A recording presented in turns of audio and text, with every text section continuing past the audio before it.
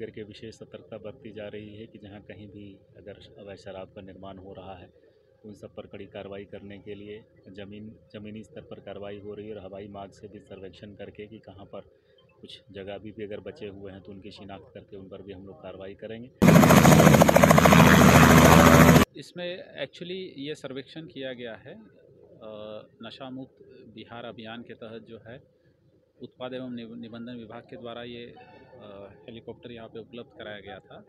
वे कल और परसों भी यहाँ पे रहेंगे और आज एक प्रिलिमिनरी रेकी किया था जिसमें बूढ़ी गंडक सिकराना नदी का जो एरिया है, उसको देखा गया। बंजरिया, सुगौली का पार्ट, कुछ पार्ट हरसिद्धि का, कुछ पार्ट तुर्कोलिया का।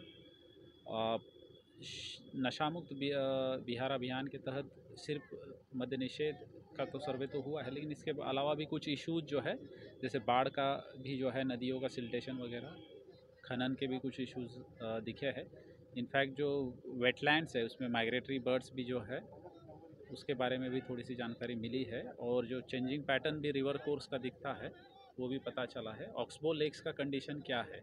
मोती झील हो या बाकी हमारे तुर्कोलिया का मन और ये चीज़ें भी जो है, प्रथम जो हमारा विज़िट है उसमें पता चलिए। वो उत्पाद अधीक्षक और पुलिस विभाग के पदाधिकारी कल से जो है डिटेल में गहन जो है इसकी रेकी करेंगे।